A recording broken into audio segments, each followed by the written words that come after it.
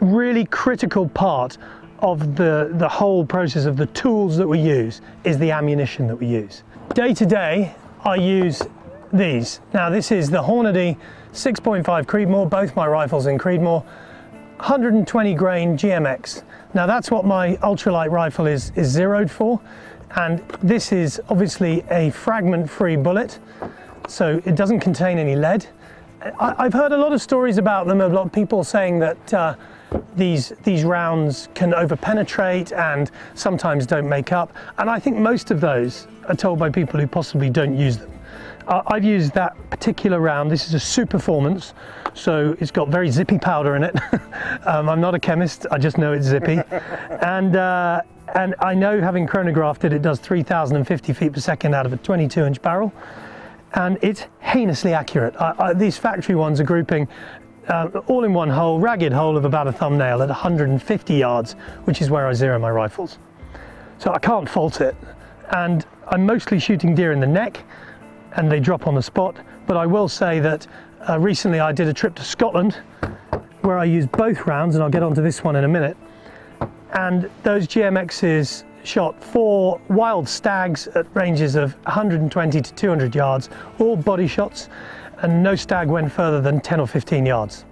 All tucked in behind the shoulder, not through the shoulder, and uh, it, phenomenally efficient. They work very, very well. And they don't leave a great trail from a chef's perspective. They don't leave fragments of lead.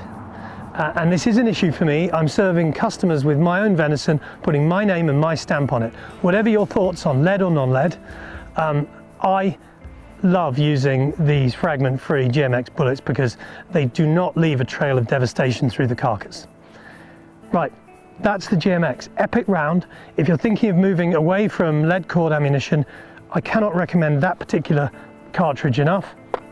They are very, very good. They're not cheap, but one shot, one deer. So if it costs you two pounds for a shot, then what does that matter? Moving on.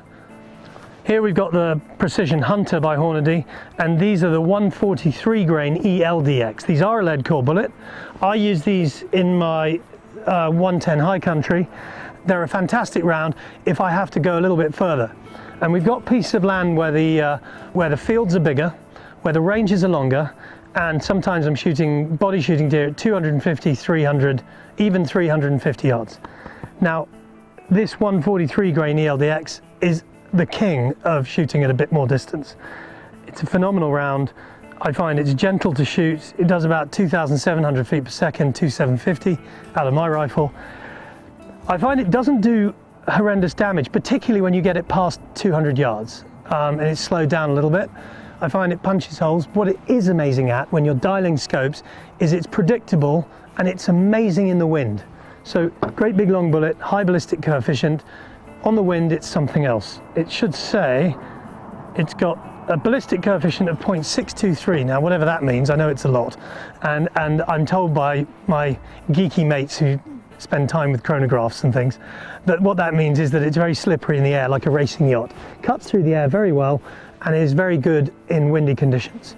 So another wonderful round by Hornady. Um, I, I just wouldn't use any other Laker bullets. They're reliable, consistent, exceptionally accurate and uh, I never have a problem. Finally, in my lovely little 1.7, I've got the 17 grain VMAX. I find these very consistent. I don't get misfires. Um, they're highly accurate. They are a VMAX, which means that they are designed for varmints, I believe that stands for. So I try never, ever, ever on small game to shoot them in the body with these because it does make a hell of a mess. So what I'm trying to do there is accuracy, accuracy, accuracy. I'm trying to place my bullets in the neck or the head of the rabbit or the hare that I'm shooting at. I find this puts them down instantly, very little recoil.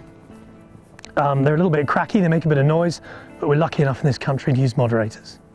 So there we are, there's the ammo of choice, three different kinds, all phenomenally great.